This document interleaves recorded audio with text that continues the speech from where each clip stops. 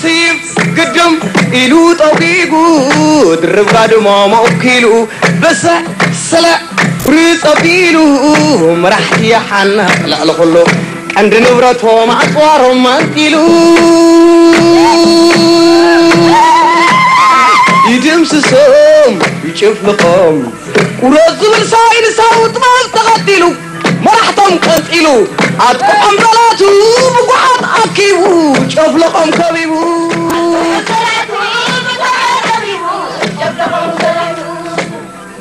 Mit Kampfliedern feiert eine Befreiungsbewegung in Äthiopien einen Sieg über die Zentralregierung. Seit März 1989 hat sie ihren Landesteil befreit, die Provinz Tigray. Doch noch ist kein Frieden in Sicht.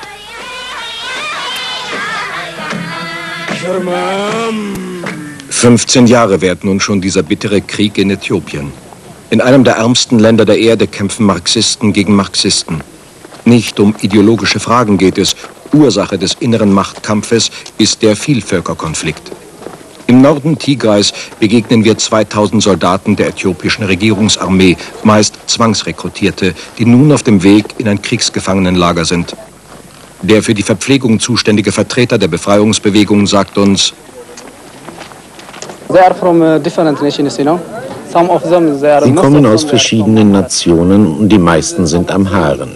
Manche sind Oromos, manche Guraga und manche aus Tigray. Sie sind Kriegsgefangene der TPLF. Die TPLF, die Befreiungsbewegung Tigrais, ist eine von mehreren Guerilla-Organisationen im Vielvölkerstaat Äthiopien. Sie kämpft für die kulturelle und nationale Eigenständigkeit ihres Volkes. Die Soldaten der Regierungstruppen verstehen den Sinn dieses Krieges schon lange nicht mehr. Viele nutzen die Freilassung aus der Kriegsgefangenschaft, um in ihre Dörfer heimzukehren.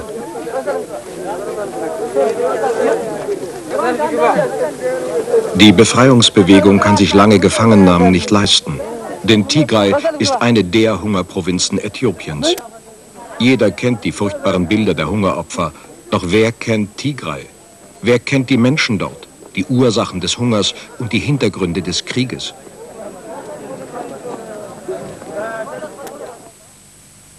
Äthiopien im Osten Afrikas ist ein Vielvölkerstaat mit mehr als 40 Millionen Einwohnern. Tigray liegt in Nordäthiopien. Auf 100.000 Quadratkilometern leben hier etwa 5 Millionen Menschen. Ein Volk, das um seine verlorenen Rechte kämpft. Die Konflikte in Äthiopien lassen sich nur aus der Geschichte verstehen, die mit dem alten Abessinien beginnt. Abessinien bestand aus zwei miteinander verwandten Völkern, den Tigray im Norden und den Amharen im Süden. Ihre Könige legitimierten sich mit dem Mythos, direkte Nachfahren des alttestamentarischen Königs Salomon zu sein. Als überzeugte Christen fühlten sich die Abessinier berufen, die benachbarten Völker mit Feuer und Schwert zu wahrem Glauben zu bekehren. Im 19. Jahrhundert rivalisierten die zwei abessinischen Völker um die Macht. Dieser Mann, der amharische Kaiser Menelik, wurde zum starken Mann. Mit europäischer Waffenhilfe unterjochte er das Brudervolk der Tigray, unterwarf das benachbarte Oromo-Land und die Moslemvölker im Süden und Osten. Äthiopien wurde das einzige Kolonialreich Afrikas, in dem Schwarze über Schwarze herrschten. Die neuen Gebiete waren wirtschaftlich sehr ergiebig und wurden von den neuen Herren ausgebeutet. Dieses Schicksal ereilte später auch noch Eritrea. Nach dem Tode Meneliks ließ sich Haile Selassie zum König der Könige krönen. Er führte die Feudalpolitik ungebrochen fort. Ein verzweifelter Bauernaufstand Anfang der 40er Jahre in Tigray wurde blutig niedergeschlagen. Das äthiopische Kaiserreich ging 1974 an seinen eigenen Widersprüchen zugrunde. Die verarmten Bauern finanzierten eine unproduktive adlige Machtelite.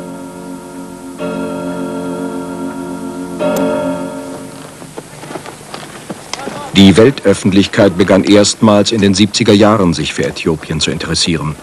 Damals starben 200.000 Menschen an den Folgen einer Hungersnot.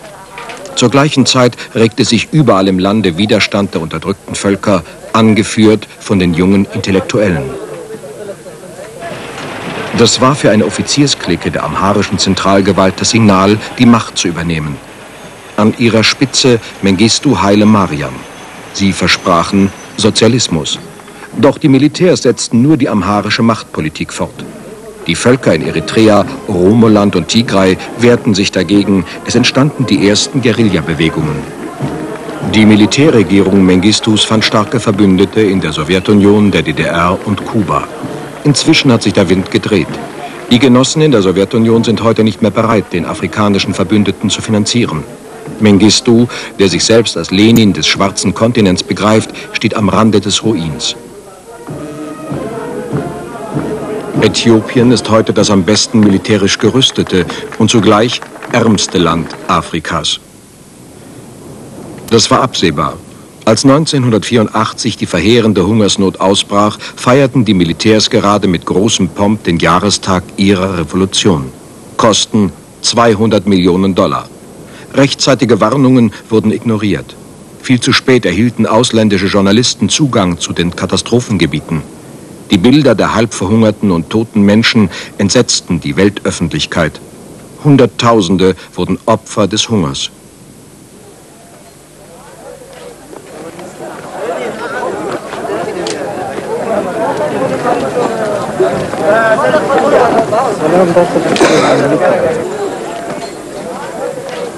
Hunger als Waffe gegen die Rebellen. So lautet der Vorwurf gegenüber Mengistu bis heute. Und mehr noch. Den gleichen Zweck verfolgte die anschließende Zwangsumsiedlung. Erschütternde Berichte belegen, wie die Regierung die Hungernden unter falschen Versprechungen in weit entfernte Landesteile deportierte. So wurden zum Beispiel Menschen von der Straße verschleppt unter dem Vorwand, sie zu Lebensmitteldepots zu bringen. Familien wurden auseinandergerissen, gewachsene Kulturen ignoriert, Völker vermischt. Trotz all dieser Zwangsmaßnahmen war der Bürgerkrieg nicht mehr aufzuhalten.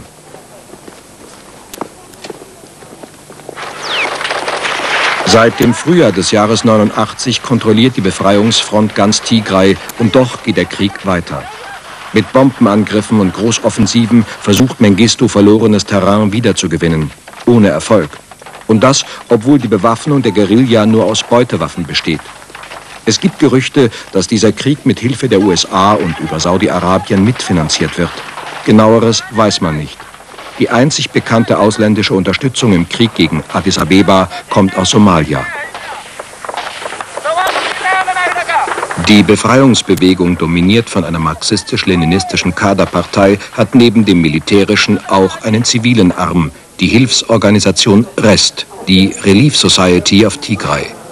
Wir sind in ihrem Zentrallager im Sudan. Name Haile Mariam uh, Mein Name ist Berche Heile Mariam. Ich arbeite bei REST und bin zuständig für Ostsudan. Gerade kontrolliere ich die Ladung der Wagen, die zu den Verteilungszentren in Tigray fahren. Die Hilfsgüter kommen aus dem Ausland nach Port Sudan und Khartoum. Dort werden sie in Lastwagen umgeladen. Gedarev ist ein Durchgangsdepot für die Verteilungszentren.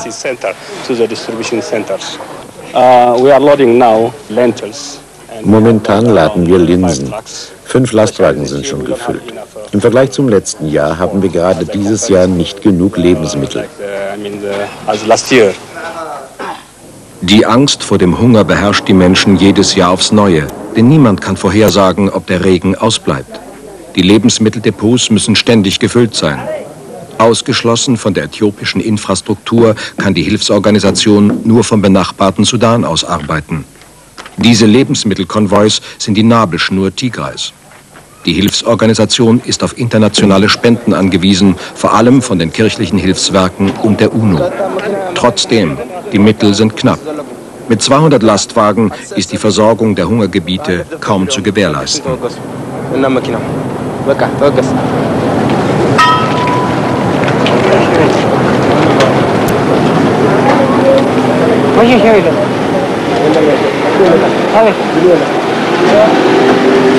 Thank you.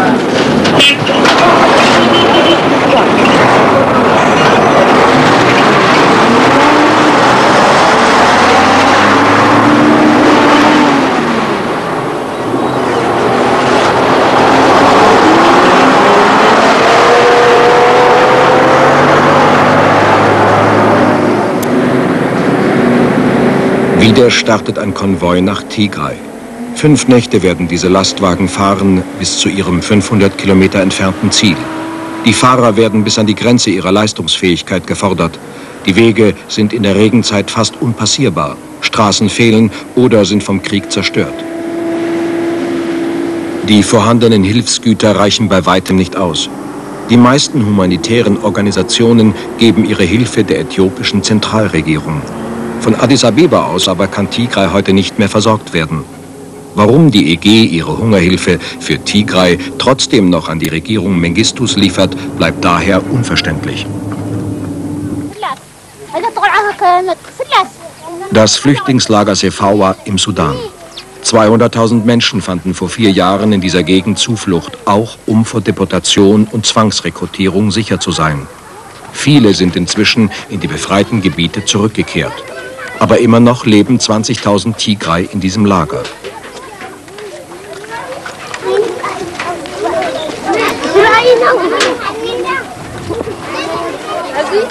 Ehrenamtliche Mitarbeiterinnen der Hilfsorganisation kümmern sich um Kinder, die in den letzten Jahren ihre Familien verloren haben. Etwa 500 Waisenkinder werden von Tagesmüttern betreut und bekommen Schulunterricht.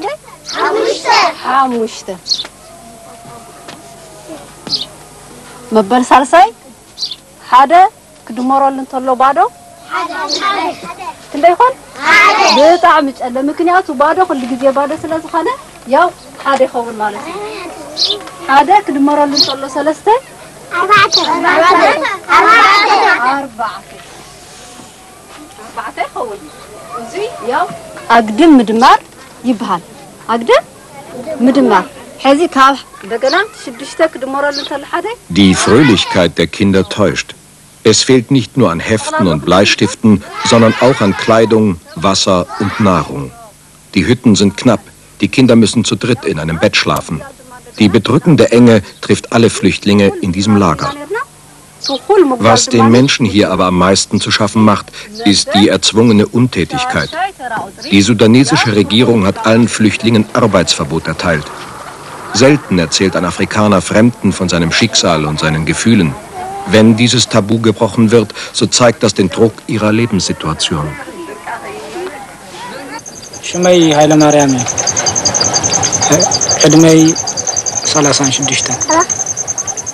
Ich heiße Heile Mariam. Ich bin 36 Jahre alt. Wir haben vier Kinder. Abrehet ist meine Frau. Ich komme aus Tigray und lebe seit vier Jahren hier im Sudan.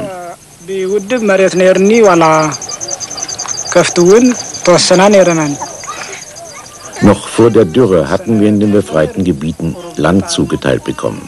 Ich besaß auch Vieh, ein paar Ziegen und Kühe. Es waren nicht viele, aber für mich waren es genug. Dann bei der Dürre 1985 haben wir alles verloren. ፀገም ምክንያት ግን ማለትስ ብሰዓን ብሰማንያን ሓሙሽተን ዓመተ ምህረት ፀገም ኣጋጢሙና ናብዚ መፂና ምንም ክንበልዖ ክንሰትዮ ንኽእል ነገር ካብዘይ ምህላውና ማለት እዩ Unser Vieh starb, weil es kein Gras gab. Und die Menschen hatten nichts mehr zu essen. Aber das Problem hatte noch eine zweite Seite. Denn von der Militärregierung wurden die Männer, die hungerten und ihre Familien nicht ernähren konnten, auch noch gezwungen, Soldaten zu werden. Anstatt sie mit Lebensmitteln zu versorgen, warf man sie ins Feuer des Krieges. Oder man verschleppte sie in Gebiete, die sie nicht kannten und in die sie nicht wollten. Wegen all dieser Probleme wurden wir von der Befreiungsbewegung hierher gebracht.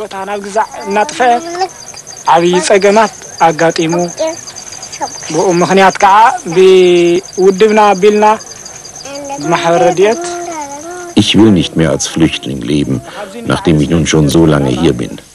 Ich bin hier geblieben, weil ich keine Alternative hatte. Es ist so schwer, in einem anderen Land zu leben. Mein Heimweh ist unermesslich.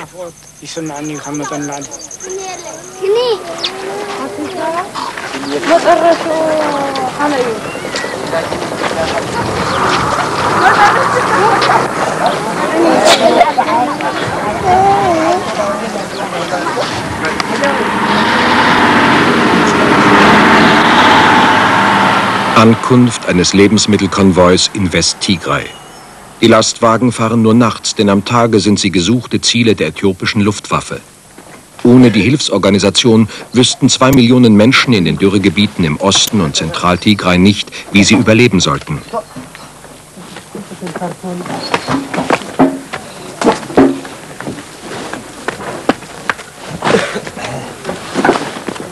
Neben der Nothilfe und der medizinischen Versorgung betreut die Hilfsorganisation landwirtschaftliche Projekte, Flüchtlingslager und Rückkehrerprogramme. Sie fördert die Alphabetisierung und den Aufbau einer Infrastruktur, auch zugunsten von Handel und Kleinindustrie.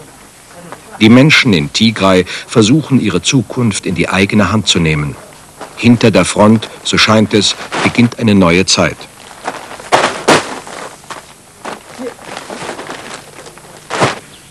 90 Prozent der Tigray sind Kleinbauern. Sie sind es, die die gesellschaftlichen Veränderungen in die Tat umsetzen wollen. Darum gehen wir in ein kleines Dorf und beobachten zwei Wochen lang diesen mühevollen Alltag zwischen Krieg, Mangel und Aufbruchstimmung. Bauer Kenfe ist unser Gastgeber. Gerade bringt er einen Sack Linsen zu seinem Haus. Vorrat für Notzeiten. Auch Kenfe lebt in der Angst vor dem Hunger. Schließlich ist er selbst ein Hungerflüchtling, der hier neu gesiedelt hat.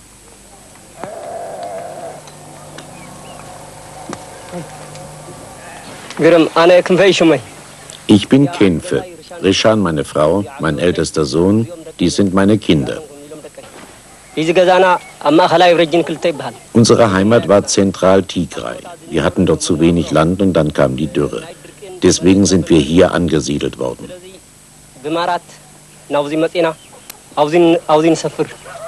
Das war vor vier Jahren. 250 Familien zogen hierher nach West-Tigray. Damals bekam jede Familie je nach Größe so viel Land, wie sie bewirtschaften kann. Als Starthilfe erhielten sie von der Hilfsorganisation einen Ochsen, eine Ziege, etwas Federvieh und die notwendigsten Haushaltsgegenstände, denn viele kamen mit leeren Händen. Wer noch etwas Geld hatte, so wie Bauer Kenfe, konnte noch einen Esel dazu kaufen.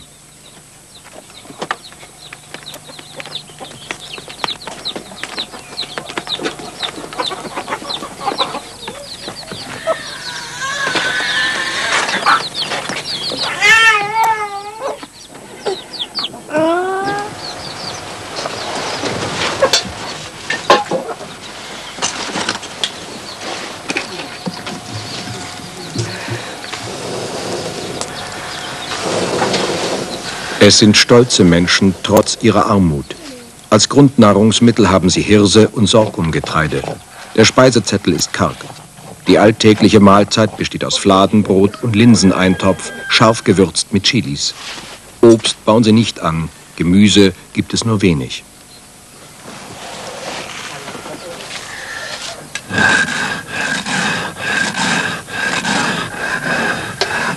Hier auf dem Lande hat sich der Alltag seit 100 Jahren nicht verändert. Es gibt keine modernen Maschinen oder Haushaltsgeräte. Wie denn auch ohne elektrischen Strom und ohne fließend Wasser.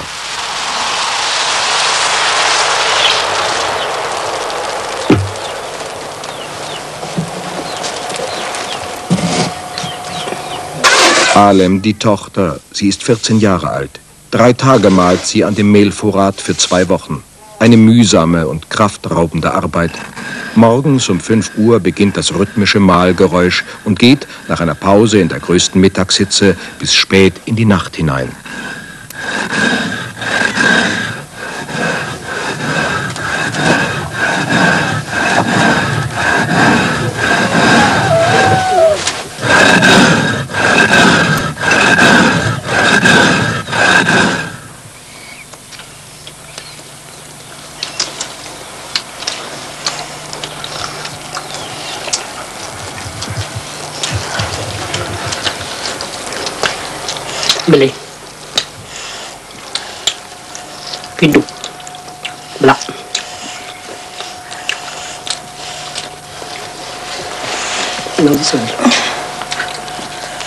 Es war und ist für die Tigray nicht einfach, ihre Kultur zu bewahren. Haile Selassie deklarierte das Amharische zur Staatssprache. In Schulen, Gerichten und Gottesdiensten ist seither die Sprache Tigrinya verboten. Deshalb haben die Tigray auch keine neueren Geschichtsbücher. Doch sie kennen die Tradition und bewahren ihr Wissen, indem sie es von Generation zu Generation mündlich weitergeben.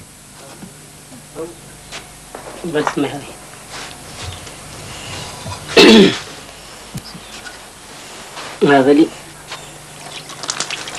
مسحنا كم مسحنا زانتا نزرارو نزاروكم بولدنا Nachdem wir nun gegessen haben, möchte ich euch eine Geschichte erzählen. Unsere Eltern haben uns diese Geschichte erzählt und ich gebe sie an euch weiter. Es geht um die erste Revolution. Darüber müsst ihr Bescheid wissen. ብዛዕባ ናይ ቀዳማይ ወያነ ትፈልጥዎ ዝግበአኩም ዓበይቲ ንዕ ስምዒ እንታይ እዩ ዝብል ሜላ ነይሩ እቲ ዝነግሩና ዛንታ Wie uns die Geschichte berichtet, regierte Kaiser Menelik, indem er die Familien auseinanderriss. Manche ließ er verhungern, anderen nahm er das Land oder hetzte sie gegeneinander auf. Das war seine Taktik.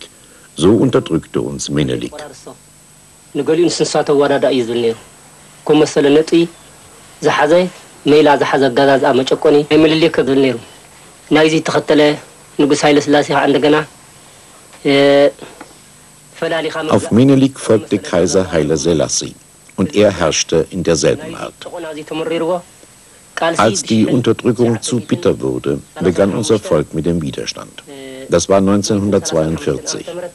Das Volk kämpfte hart, aber der Kampf musste unterbrochen werden. Denn es fehlte eine Organisation, die den Aufstand leiten und koordinieren konnte. Der Kampf, den wir zurzeit führen, ist nur eine Fortsetzung dieser ersten Revolution.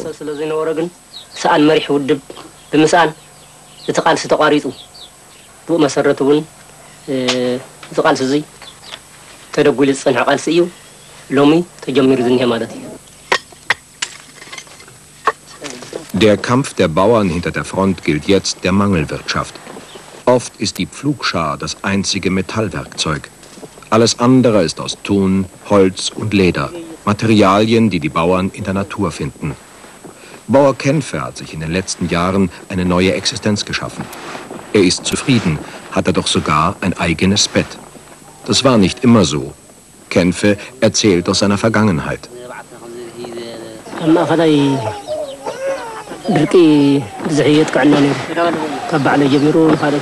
In Zentral-Tigray waren wir früher in der Regel von der Dürre nie so stark betroffen.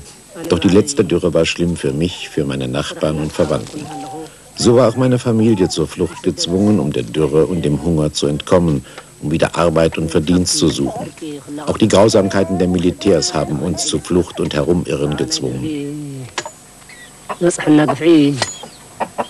ዝበፅሐና ግፍዒ ኣመና ህድማን ገልጠምጠምን እዩ ደርጊ ንምንታይ እዩ ዝሓርድ ጭፍጭፍ ዝብል Mengistus Regierung will die Menschen mit Mord und Überfall einschüchtern.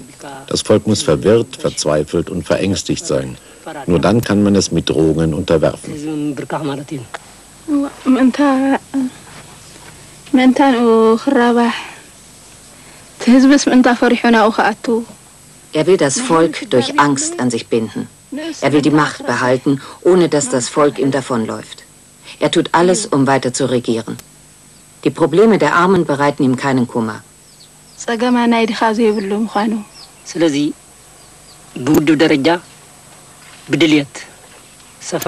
Wir hatten gehört, dass die Befreiungsbewegung allen hilft, die freiwillig umsiedeln wollen und ihnen noch Land zuteilt. Daraufhin meldeten wir uns. Wir hielten Lebensmittel für den Weg. So kamen wir schließlich hierher.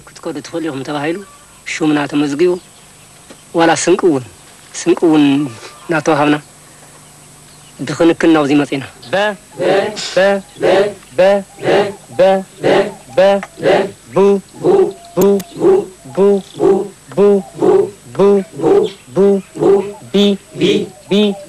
Private Neubeginn wird, wo irgend möglich, mit dem gesellschaftlichen Neubeginn verknüpft.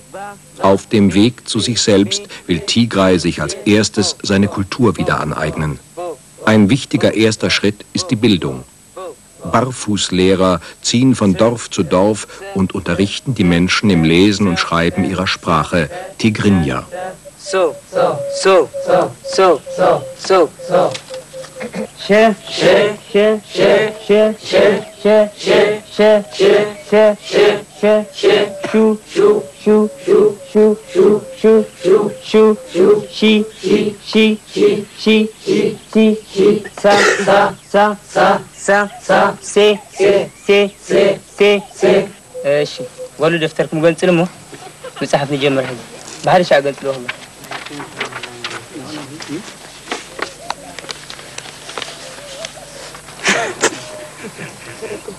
Die ganze Dorfgemeinschaft nimmt am Unterricht teil. Einmal in der Woche kommt der Lehrer mit seiner Schultafel.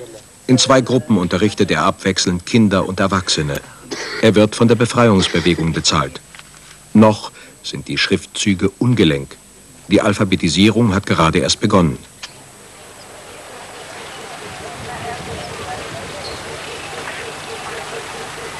Dem weiten Land fehlt es vor allem an Ärzten. Kaum zehn ausgebildete Ärzte müssen vier bis fünf Millionen Menschen betreuen. Ihnen zur Seite stehen 2000 medizinische Helfer, die im Schnellverfahren ausgebildet wurden. Barfußärzte, die wie die Barfußlehrer durch das Land ziehen.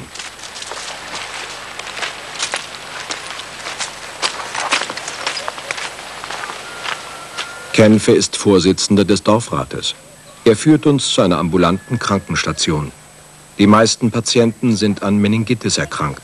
Die ansteckende Hirnhautentzündung hat bereits viele Tote gefordert. Hinzu kommt, dass in West-Tigray die Malaria stark verbreitet ist. In dieser improvisierten Krankenstation bemüht sich seit zwei Tagen ein Barfußarzt um die Schwerkranken.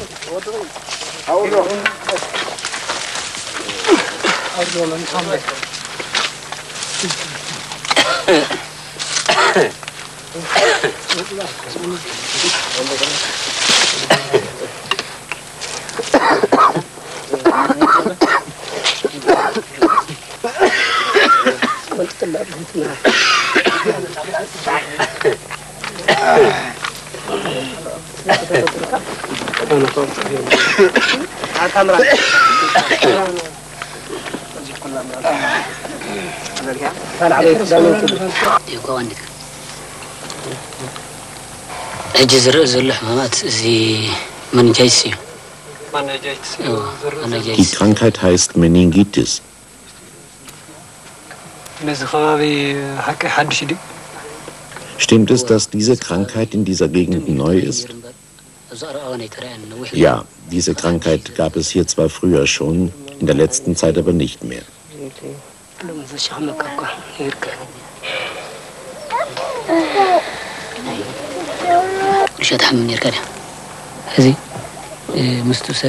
Jetzt ist die Krankheit wieder neu ausgebrochen. Aber auch wegen der Malaria haben wir so viele Kranke. Wir Ärzte können nicht überall sein, dazu sind wir zu wenig. Hinzu kommt, dass die Meningitis-Kranken sterben, wenn sie zwei bis drei Stunden getragen werden. Gestern ist hier auch ein Patient gestorben. ሞት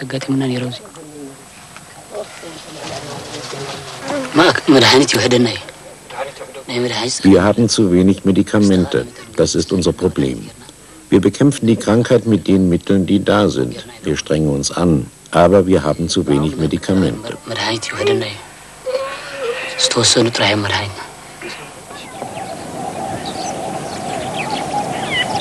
Natürlich gibt es auch kleine Krankenhäuser. Aber bereits beim Krankentransport beginnen die Schwierigkeiten. Die Schwerkranken müssen über hügeliges Gelände stundenlang getragen werden, und das bei Temperaturen von über 40 Grad. Die Sorge um die Krankheiten beschäftigt den Dorfrat.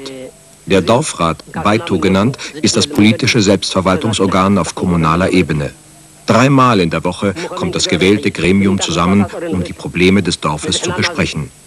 In ausführlichen Diskussionen versuchen die Beito-Mitglieder Lösungen zu finden.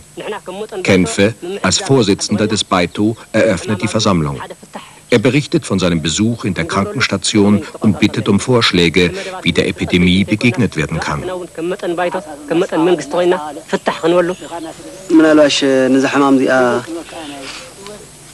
Im Grunde genommen ist uns von unserer Organisation immer gesagt worden, dass Vorbeugen gegen Krankheit bessere Ergebnisse bringt als Heilen.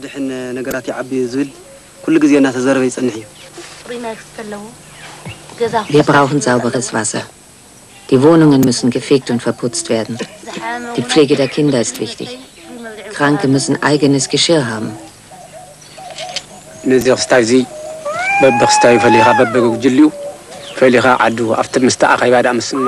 Es wäre gut, wenn die Leute in ihren Häusern blieben, wenn die Gesunden von den Kranken getrennt werden. Dann können wir sie zählen und veranlassen, dass die Kranken ins Krankenhaus gebracht werden. Es wäre auch schön, wenn man hier eine Klinik errichten könnte.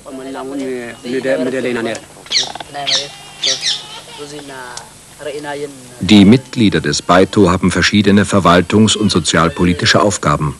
Darüber hinaus entsendet der Baito Delegierte in die regionalen, überregionalen und nationalen Ratsversammlungen. Erste und wichtige Gehversuche mit Demokratie und Selbstverwaltung, initiiert und beeinflusst von der Befreiungsbewegung. Zur Ideologie dieser Organisation gehört die Gleichberechtigung der Frau. Bislang war den Frauen der Zugang zur Erwerbsarbeit und Landbesitz verboten. Man sagte, wenn eine Frau den Pflug berührt, wird es eine schlechte Ernte geben. Heute lernen Frauen und Männer gemeinsam. Inzwischen können Frauen sogar Beitom-Mitglieder werden. Also Emanzipation per Dekret? Noch sind die Frauen in ihre alten Rollen und Aufgaben eingebunden. Vor der Politik kommt die Hausarbeit und die ist zeitraubend und mühsam.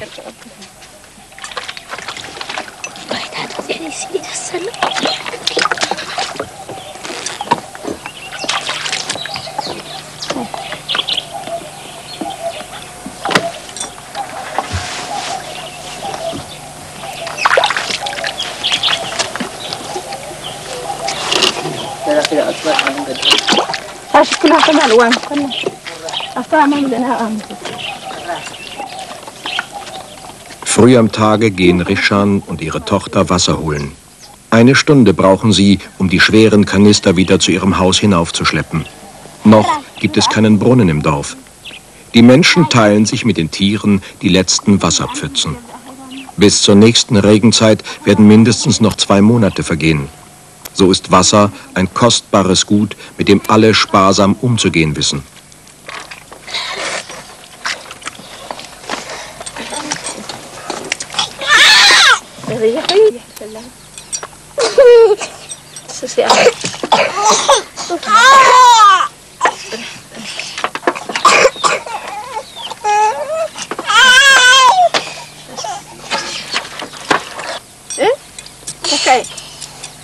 Auf dem Papier hat sich die Situation der Frauen verändert. Heute sind sie rechtlich gleichgestellt, haben das Wahlrecht und können eigenes Land besitzen. Langsam werden sie mutiger, ergreifen auch in der Öffentlichkeit das Wort.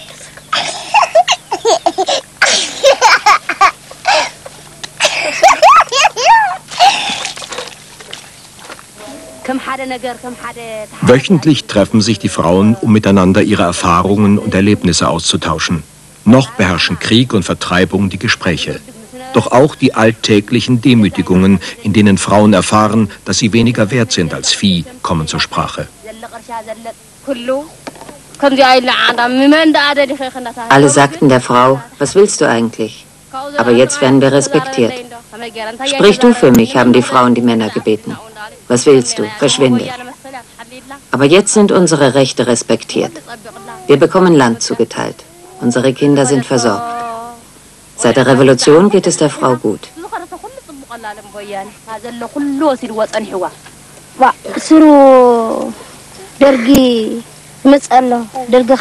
Die Soldaten kommen. Sie werden mich umbringen.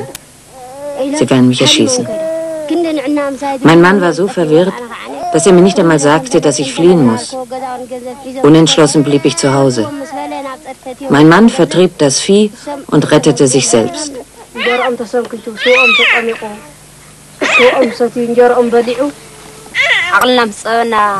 Verzweifelt haben wir 1982 unser Haus verlassen und sind hierher gekommen.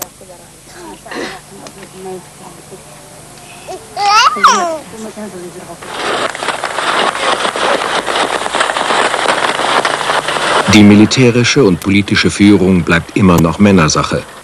Die TPLF hat sich inzwischen mit der Befreiungsbewegung in den Nachbarprovinzen Wollo und Gondar zusammengeschlossen. Die Regierung Mengistu steht mit dem Rücken zur Wand. Die Guerilla ist bereits bis kurz vor Addis Abeba vorgerückt. Im November besuchten Vertreter der Befreiungsfront die Bundesrepublik Deutschland, um für ihre politischen Ziele zu werben. Ja, ähm, We are uh, struggling uh, to ensure the democratic rights of the people. Wir kämpfen um die Sicherung der demokratischen Rechte. Sowohl in unserem Friedensvorschlag als auch im Falle eines Regierungsumsturzes fordern wir eine Übergangsregierung. Ein demokratisches Forum, in dem alle Parteien konkurrieren können. Das Volk kann dann seine eigene Regierung bestimmen, seine eigene Regierung wählen. The people can decide its own uh, government, its, can elect its own government. Those who are concerned of the problem in Ethiopia Alle, die sich mit dem Konflikt in Äthiopien beschäftigen, müssen die Regierung unter Druck setzen, damit sie den Friedensvorschlag akzeptiert, um die Probleme friedlich und demokratisch zu lösen. Wir erwarten diesen Druck auch von der deutschen Regierung und deren Parteien. and different parties. Uh, the aim of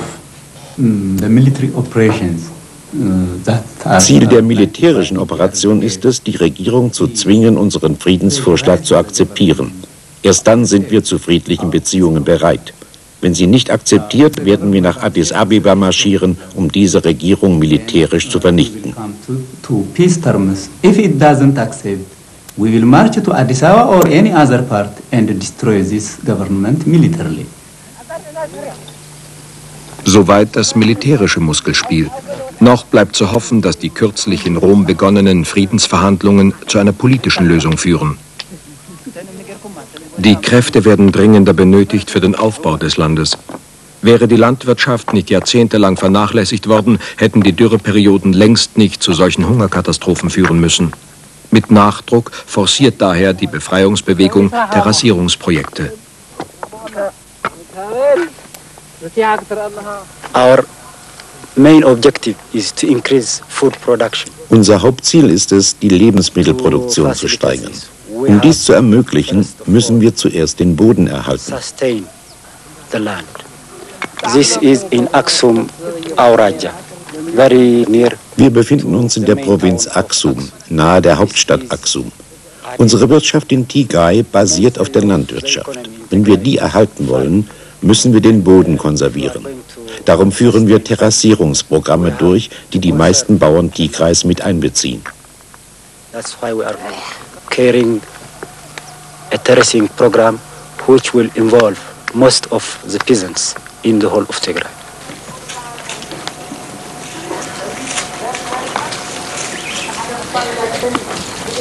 Einst wurde Abessinien auch das Land der duftenden Bäume genannt, denn hier wuchsen früher die Weihrauchbäume. Der Raubbau und die folgende Bodenerosion haben das Land ausgelaugt. Die Bauern kennen die Ursachen der Dürre. Seit ihnen das Land gehört, bemühen sie sich, die Böden wieder urbar zu machen. In Bauernversammlungen werden Probleme und Techniken der Bodenkonservierung besprochen. 300 Bauern aus einem Umkreis von 50 Kilometern haben sich hier versammelt. ብዝኾነ ይኹን ግን ዕቀባ ሓመድን ማይን ክብል እንተሎ ተዳጋጊፉ መሬት durch Terrassierung erhalten sich Boden und Wasser gegenseitig. Das Wasser wird aufgefangen und gespeichert. Das Getreide wird wachsen und somit auch unsere Wirtschaft.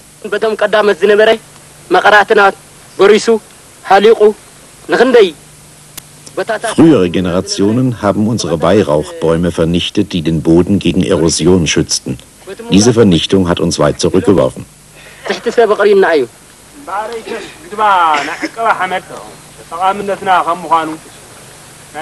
Die Nützlichkeit der Bodenkonservierung ist klar. Der nahrhafte Teil unseres Bodens ist erodiert und verschwunden. und sind nur Felsen verblieben. Darum hungert das Volk in Tigray.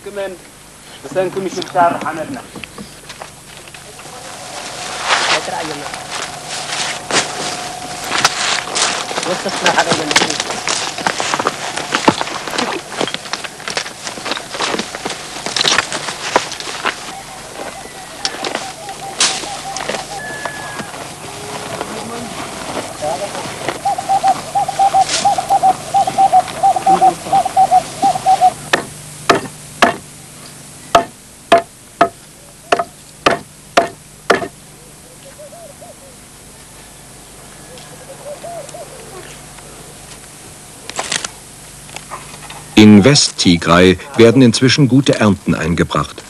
Aber sie reichen bei weitem nicht, um das ganze Land zu ernähren. Das Umsiedlungsprogramm, das die Familie Kenfes vor vier Jahren mitgemacht hat, war eine erste Hilfe in der Not. Aber die Not ist zu groß. Man hat erkannt, dass mit Umsiedlung allein das Problem des Hungers nicht zu lösen ist. Hilfe vor Ort heißt heute die Parole. Damit will man verhindern, dass die Menschen ihre angestammte Heimat verlassen müssen. Die Terrassierungsprojekte sind ein Anfang. Aber ohne Hilfe von außen geht es nicht. Noch nicht.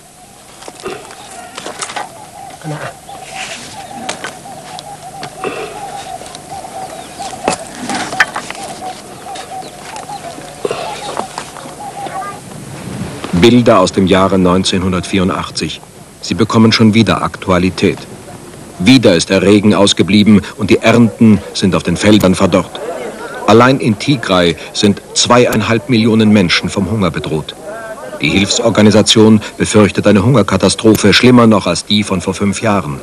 Die Vorräte sind fast aufgebraucht. Die Bauern verkaufen bereits ihre Ochsen und sind auf der Flucht.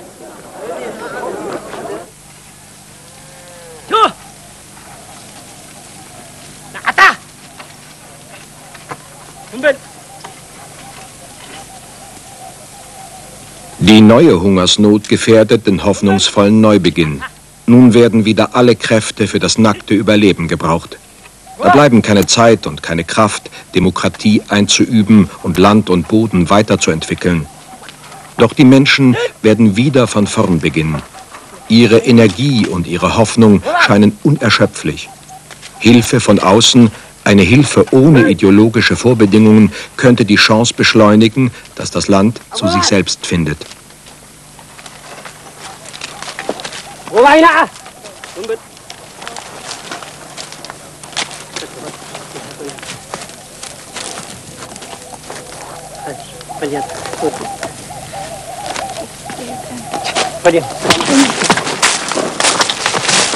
go back. Go back. Go back.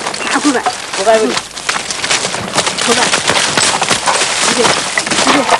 Niemand kann sagen, wie die politische Zukunft des Vielvölkerstaates Äthiopien einmal aussehen wird.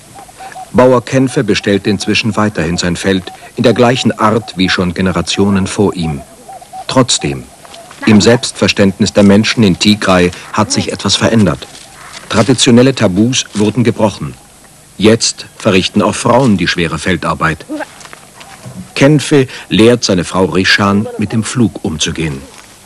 Gemeinsam könnten sie diesen ausgelaugten, steinigen Boden wieder fruchtbar machen, wenn das Land endlich zum Frieden finden würde.